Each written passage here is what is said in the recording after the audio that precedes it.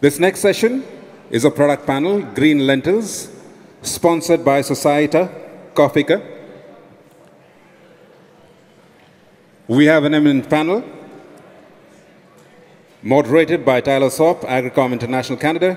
The panelists include Roberto Sanchez de Lozada of Sanchez de Lozada y Asociados, Chile, Said Hauna of Sari KSP Algeria, Iman Reda, Getco Canada, Henk van Leeuwen, Cogeser France, and Sandeep Rai Burman of Hakan Agro DMCC UAE. Well, good afternoon, ladies and gentlemen.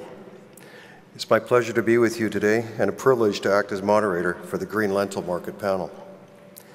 We have five panelists here today, each of whom is, represent a distinct geographical area and all of which are considered experts in their respective markets.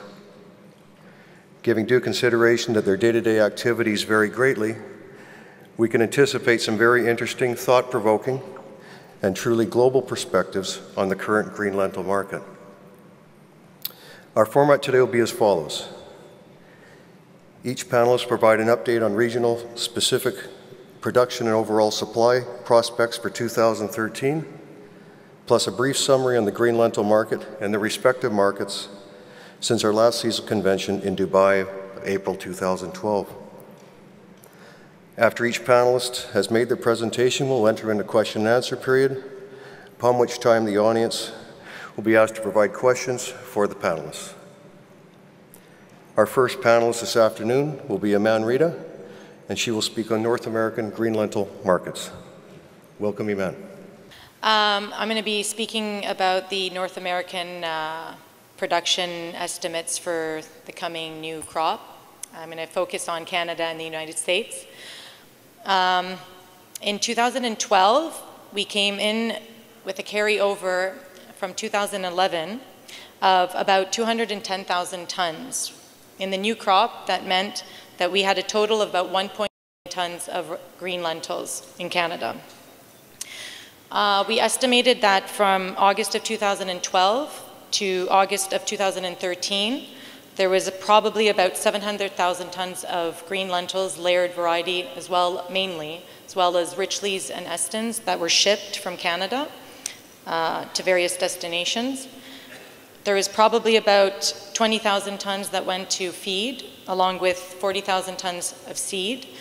So that left a total use of 760,000 tons of green lentils, which brought right now, we estimate about 340,000 tons of current crop stocks left going into August. However, uh, there's now been a, a, tender that was said to go into India of about 100,000 tons. If that tender actually gets fulfilled, then probably I would come down on my estimate for the current crop stocks of around 200 to 250,000 tons roughly which means in 2013, I expect we would have, I do not expect a decline in our uh, production, or in our seeded uh, of green lentils.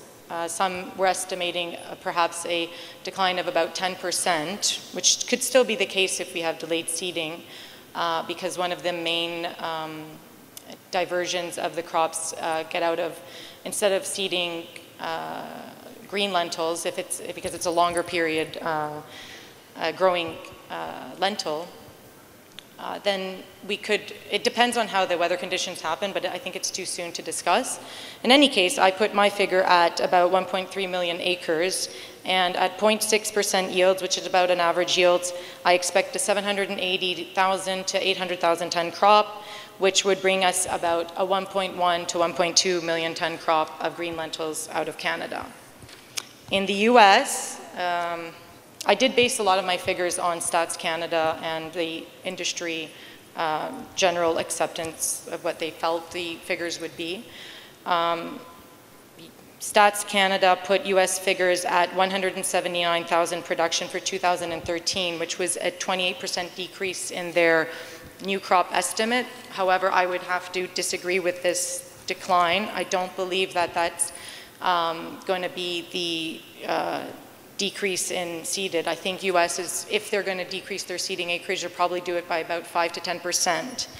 Um, that's mainly because a lot of this estimate was based on states that were not usual green lentil producing areas. And, and if we focus on the bigger states, um, like central Montana, then we don't have a reason to believe that they're going to be so low in their production. So I would estimate them to be at around uh, 240,000 tons, mainly Richlea type variety.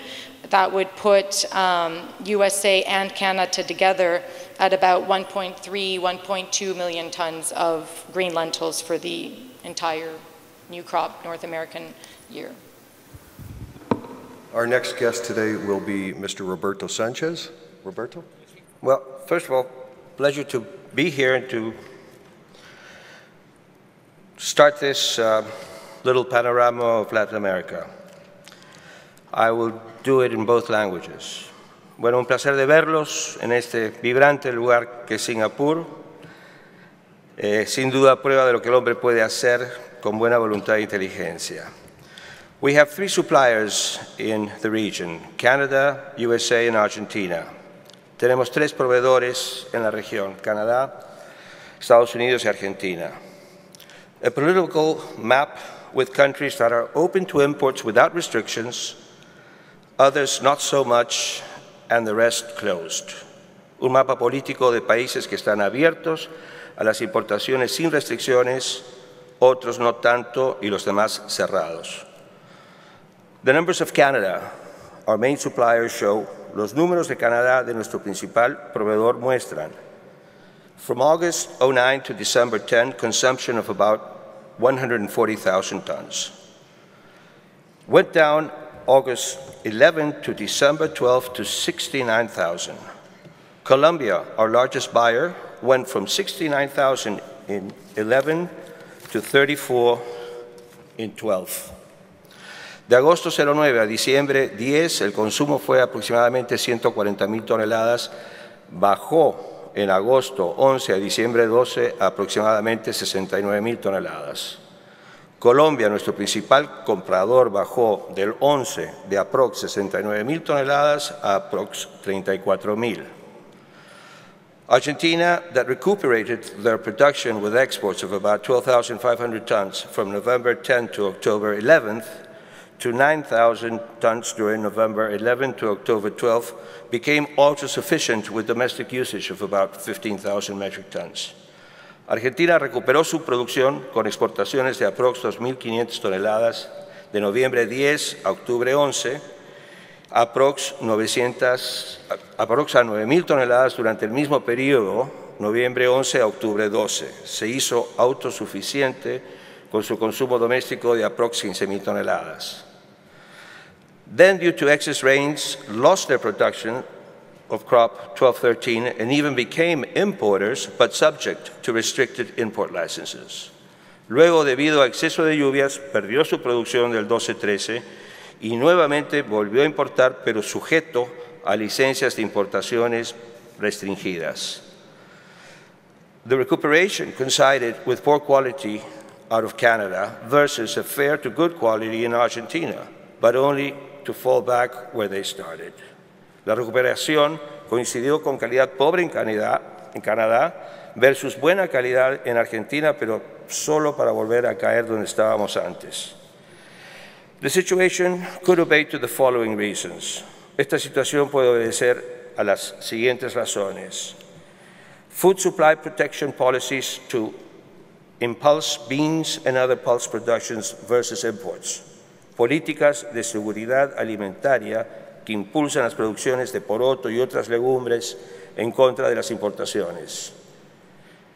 Restricted government import permits, which are also a tool to reduce dollars going out, to reduce the balance and allow payment of the foreign debt. Permisos de importación restringidos por los gobiernos como herramienta para reducir la salida de dólares, para bajar la balanza y permitir los pagos de las deudas externas. Reduction of target consumption due to lower acquisition power. Baja en las metas de consumo debido a menor poder adquisitivo.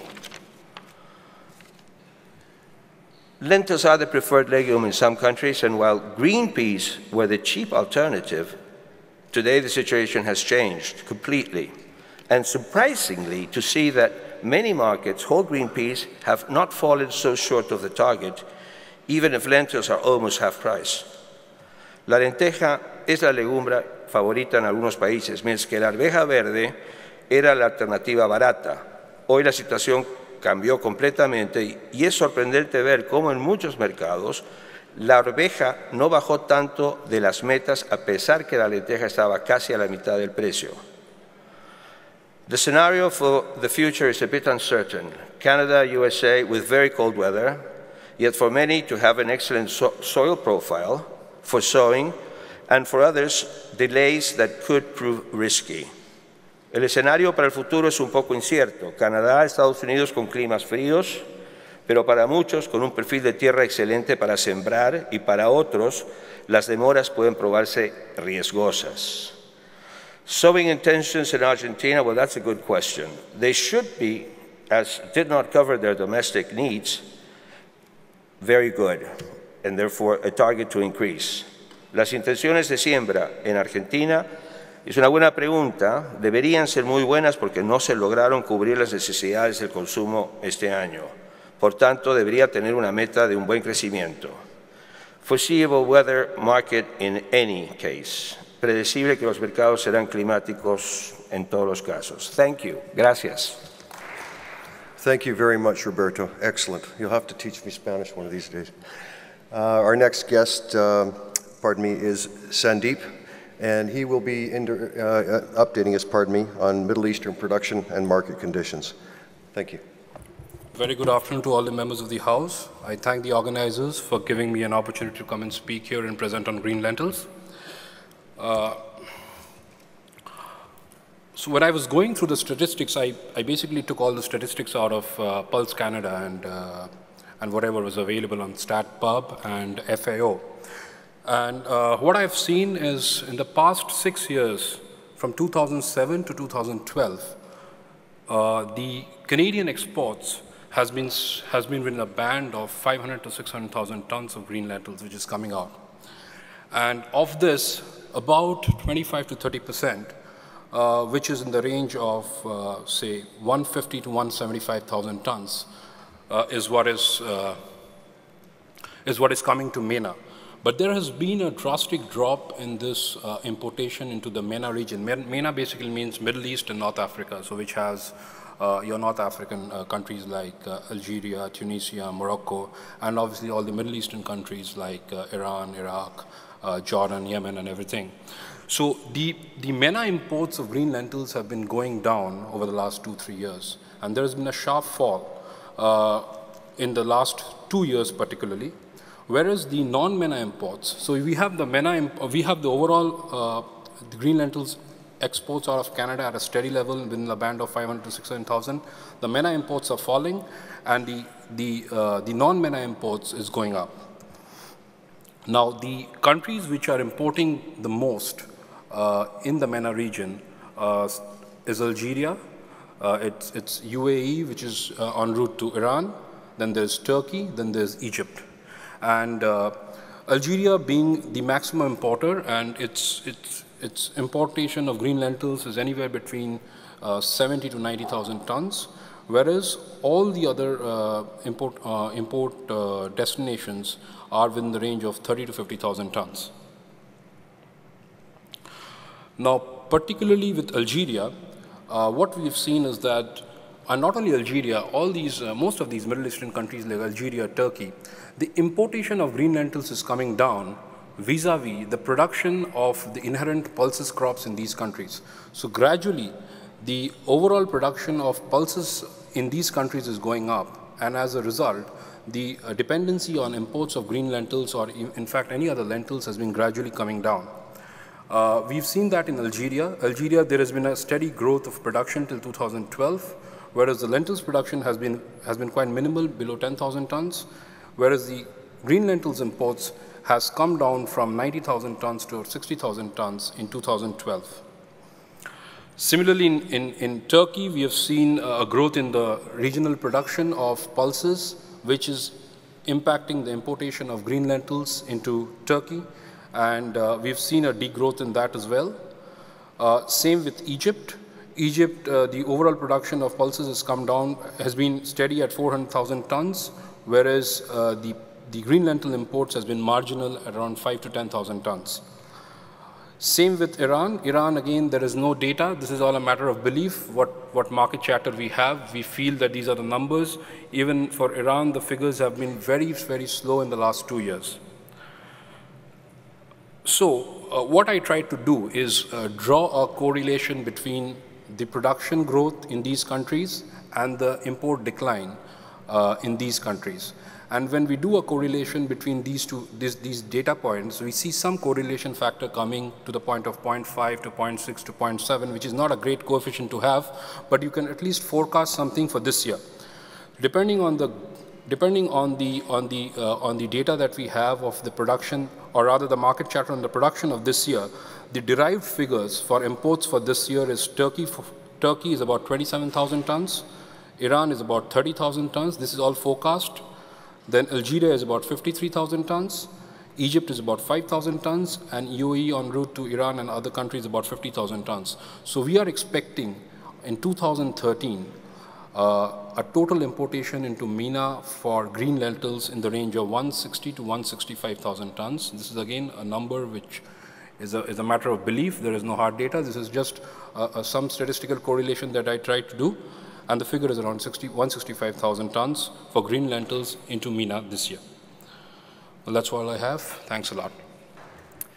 We have a brief uh, adjustment to our program today. Unfortunately, Saeed from Algeria was not able to join us.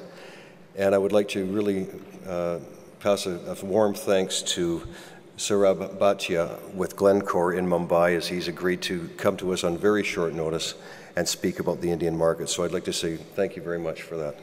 Welcome, sir. Good afternoon, everybody.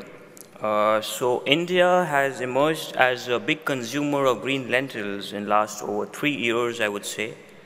Uh, normally, uh, there is no production of green lentils in India, uh, and it has emerged as a substitute to pigeon peas, which is, which is mainly imported from Burma. Uh, uh, the, the, the, the, large imports started happening from 2008-09 onwards when the pigeon pea prices hit the roof of $1,000, $1,200. And uh, it was, uh, it was uh, supported by Indian government in a big way where the, the, the, the PSUs imported almost 50 to 80,000 tons of green lentils in 2008 or 9 uh, after that, the, the, the, imports of green lentils into India reduced significantly and uh, have remained around 25 to 30,000 tons every year. Now this year again, we are seeing the pigeon pea prices uh, rallying and the prices have gone up from $600 to almost $800, $820 in last uh, four months. Uh, we see the South India, which is uh, the, uh, the, the state of Tamil Nadu in India, which is one of the largest consumer of pigeon peas. Uh, they are continuously coming with tenders of 10,000 tons to 20,000 tons every, every month or alternate months, uh, which, are keeping, which is keeping the market of green lentils supported.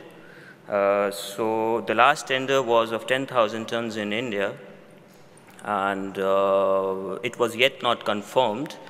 Uh, and then there came a 100,000 tons tender of green lentils into India, which, which the entire market in Canada and everywhere is talking about. But uh, uh, the, the processors, the participants in India were not keen to participate in such a big tender because it's difficult for them to, to, to source such a big quantity at one price from Canada.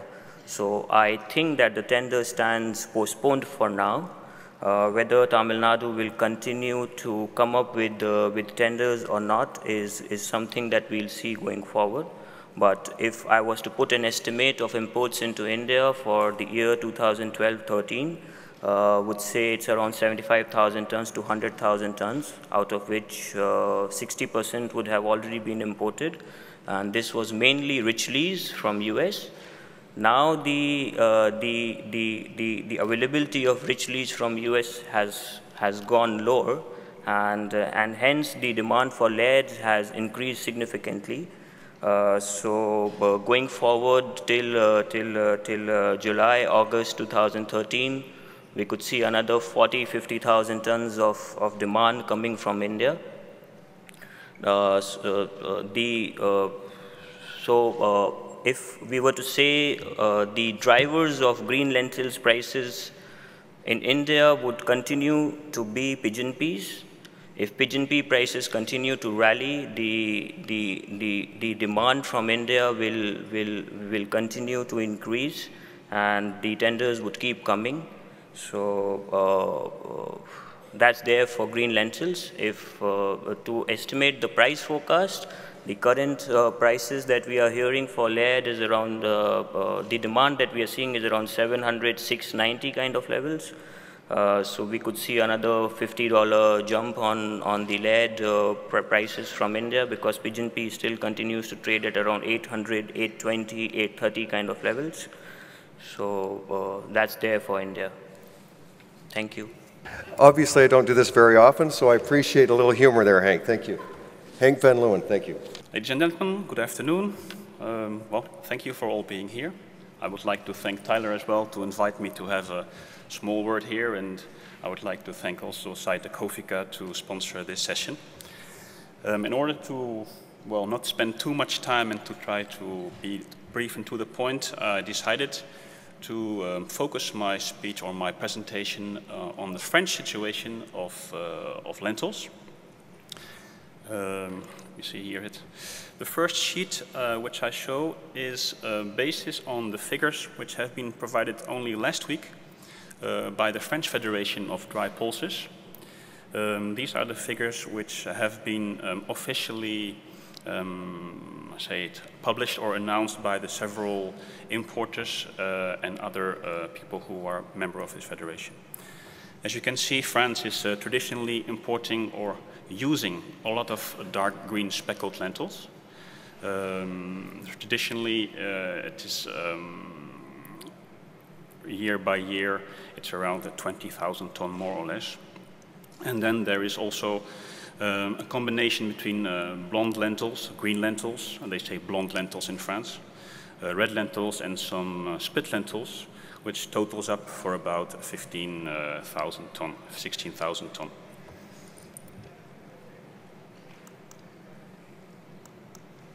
So um, now we go to the import and export stats of lentils.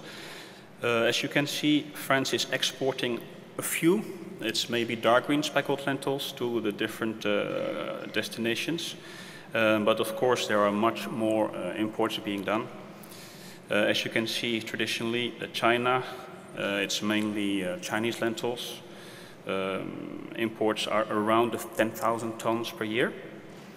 Um, then, of course, in second row we have uh, Canada with around 8, 9 to 9,000 ton.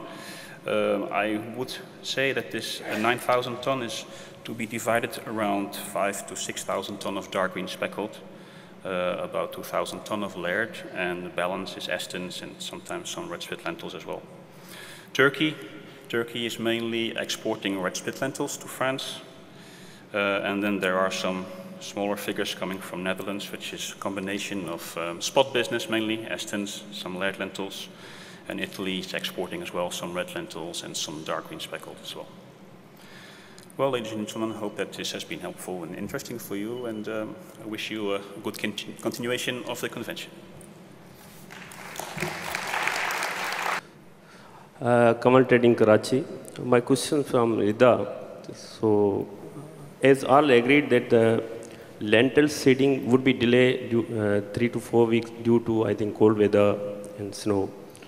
So what do you think that uh, uh, could be any problem of the uh, yield and uh, as well as quality concern? Uh, it would be affected quality due to delay of the seeding. due to delay of the seeding, it could be possible to yield problems there. Uh, yeah, there is uh, concern right now because of the snow and the weather conditions that's happening for the delayed seeding. But uh, I've experienced uh, throughout uh, the few past years that as long as seed does get into the ground before early, you know, first week of June, uh, we still can have a decent crop and, and our yields can still be good. Uh, it really, it's a little bit too soon for everybody to start uh, creating a weather um, sentiment and, and, and worrying that we weren't going to have a crop. I think it's a bit too soon to know. Um, anything can happen at this point. We can get all of the seed in the ground. It should be fine if we have a few weeks of good, hot, dry weather conditions. Um, we've experienced in the last few years that our frost uh, months have been delayed as well. So we've been managing to get uh, harvest go all the way into October with no frost. So it's, it's, everything is really too soon to gauge. I don't think people should worry at this stage. I think we should just wait to see how the weather is going to develop. Let's see if the farmers will be able to seed at, in, from now until June, and then we can start assessing our situation. I mean, we've, we've seen conditions um, of years where we've had complete drought, and they manage to seed, and then later on things adjust and the rain comes. So we've had conditions where seed goes at exact time and then later on we've had a frost that wipes out a market. So at this point we have so many more months to go. Things can correct. I think it's a bit too soon to know.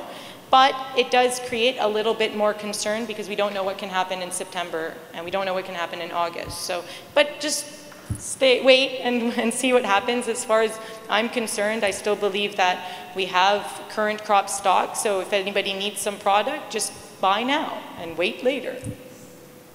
Uh, one thing, uh, I hope and, and, pray that seeding will be good and crop will be good.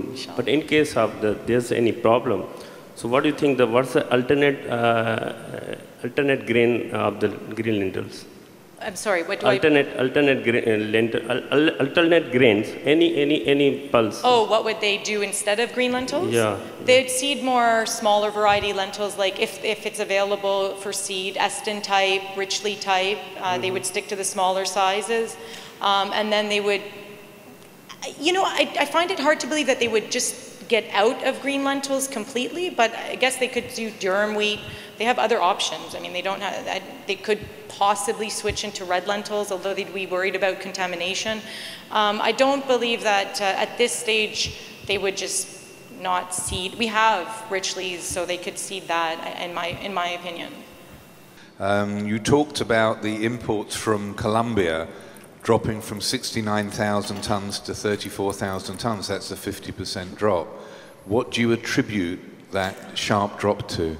I think that they bought too much and they had a carryover. So we would have to average a little bit. And what would a, a normal steady import volume be? Uh, 50, more or less.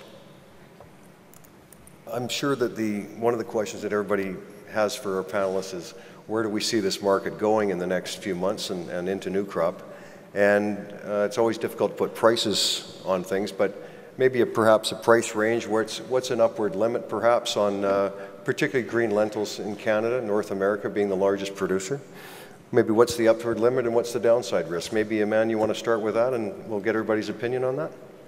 Uh, everybody wants a crystal ball at this point. Um, I mean, don't start your trades on my sentiment, but I would think that uh, it all depends on India, frankly speaking. I hear that they have a tender coming. I don't know if this 100,000 ton is real, if it's not. Uh, there's a lot of I mean, Canada and North America is being played by Indian subcontinent in such a big way that it's hard to gauge where the prices are going. They played the red lentils really high, and, and I, that was a bit unexpected. I, I, didn't see it going to that degree. So at this stage, I, I, I mean, we are get still you know, pricing Laird number two is 670 to 690 CNF bulk container bases into India. Um, again, if, if this 100,000 tons is real, that's going to pick up the market to, I mean, easily 750, like you indicated. Um, with the current crop stocks that we do have, I find it difficult to see green lentils reach $800 like uh, red lentils have, uh, mainly because I believe that there are a lot, there are enough stocks in other countries, um, Latin America and, and Middle East and things. So unless they all just decide to come at the same time, of course, that will create a different uh, perspective. So I'm really going to direct that to you, if that's okay, on the Indian side, so that you can give some indications as what you thought. See, uh, when it comes to 100,000 tons of uh, uh, tender from Tamil Nadu government, now that's a big question mark because they came with this tender almost two months back and then it was scrapped. Because the problem is that they don't need it as a raw material or as the product that it is shipped from Canada. They need it in terms of football lentils. So the processors who are participating in this tender, they find it extremely difficult to source 100,000 tons uh, from the Canadian suppliers at one price. And they have to give one price for, the, for that quantity. So it gets very difficult. And uh, the reason these tenders get scrapped is because nobody wants to participate for 100,000 tons. And even when the tenders are for 10,000 tons, there are at least five or six of the processors who are allotted that tenders at one price. So I would still believe that 100,000 ton tenders uh, would, uh, would rather not be there. If it is there, then definitely uh, it's going to have a, a, bullish price impact on, on the Canadian side because uh, because to, to source 100,000 tons in, in two months or three months in containers should be a difficult task. So uh, that's there. Apart from that, I mean, in terms of price outlook from India, uh, it, it, it is going to follow the pigeon pea prices and, and uh, pigeon pea prices continue to look firm because uh, we don't have enough stocks in India the Burmese production is also down, so there is around, what we hear from the trade is there is around 100, 100 to 150,000 tons of uh, pigeon peas left in Burma, and we have still six months, more than six months to go before the Indian new crop comes in. Definitely there would be some of African, uh, Malawi and Mozambique tours coming in, but uh, that won't be enough to meet Indian supply of pigeon peas.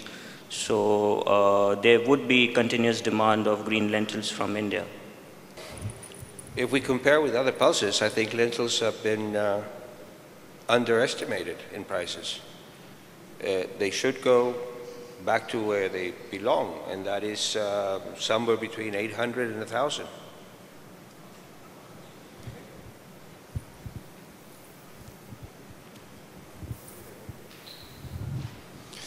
Well, it's a matter of weather. So it's a crystal ball question. I would say red lentils as they are right now can go either way. Uh, green lentils, the same thing. I think if Canada has a nice crop and nice weather and uh, no rains at the end, it will be perfect, but who knows? So I think you better be careful. And if you are a buyer for green lentils, maybe you should buy some now or try to, if you can. I uh, also pretty much reciprocate what Saurabh just mentioned that uh, the real play is going to be how India is going to take up all the lentils uh, from here on. Uh, my personal feeling is that the tenders and the figures which come in the Indian tenders are extremely, extremely bloated and uh, hardly uh, the tenders get converted to such quantities. So on the demand side, uh, India will certainly play an important role and with uh, pigeon peas prices ruling at the levels they are and still looking uh, northwards. Uh, also, the red lentils market uh, is firm. So the market in green lentils should not be moving down from here, but it should stay range bound between what it is now, say around 680 to 720, 25 levels, unless we see uh, some demand emerging out of MENA, which is which is not looking like uh, some extra demand is going to come from here because of the all the geopolitical problems in this region. So I would say market is going to be range bound between 660 and 720. That's what uh, my gut says. Where do you see the, the biggest risks in your day-to-day -day activities? Yep.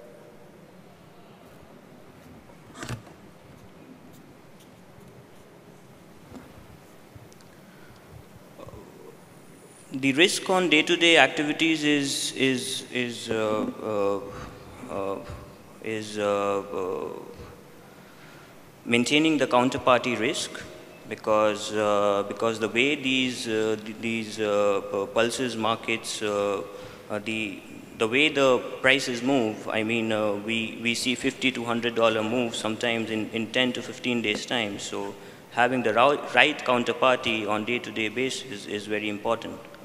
So that's the uh, biggest risk we, we see on a day-to-day -day basis. I think the biggest risk is the weather. You know, it's, it can, it can change figures drastically. So uh, one is obviously uh, the weather, which, which I feel is so, so difficult to understand how it's going to play out, and finally, what are the crop numbers. We are discussing a certain set of numbers now, two months hence. We might be sitting and discussing a completely different set. So we don't know how the weather is going to pan out. The other thing which I uh, feel is the regulatory risk, uh, especially in the subcontinent, because uh, end of the day, they consume most of the pulses uh, our industry is trading. So on the, uh, on the regulatory side, uh, especially in India, you have very radical changes, unannounced, unexpected. Those things do matter a lot in the market. And all these things bring so much of price volatility. And end of the day, all the risk is because of the price movements. So uh, if you can contain the price volatility uh, and, and somehow manage, I mean, these, these risks are regulatory, and, and these two risks that I mentioned is completely beyond our control. We cannot control uh, nature, we cannot control what the government is going to do tomorrow. So these are two risks which is beyond our control, we have to live with it, and this is what is lending a lot to the price volatility, and which is what I feel uh, is, uh, is, is, the, is the risk that I fear at least the most. I think one of the biggest risks is in the non-respect of the LMR for pesticide. Two years ago, we have the big problem with the glyphosate. We solve it with a very, very big difficulties with the European community. No, we must be very, very careful, even in Canada, even in other countries like China, about pesticide. Because in Europe, with all the situation now, they don't accept not any discrepancies about that. As I ask, I want to ask maybe to destroy some parcel we must be very careful about that. That's very well noted, Alex. Thank you. Well, that wraps it up for us today. I'd just like to say thank you very much to, to all the panelists for, for accepting today. To Hank Van Leeuwen, hard work, Tyler, but it's got to be done.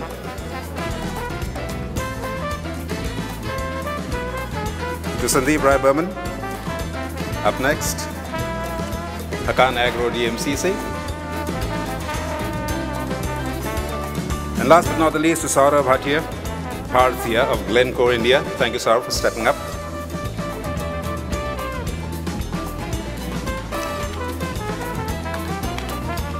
And last but not the least, I'll do the honors for Tyler.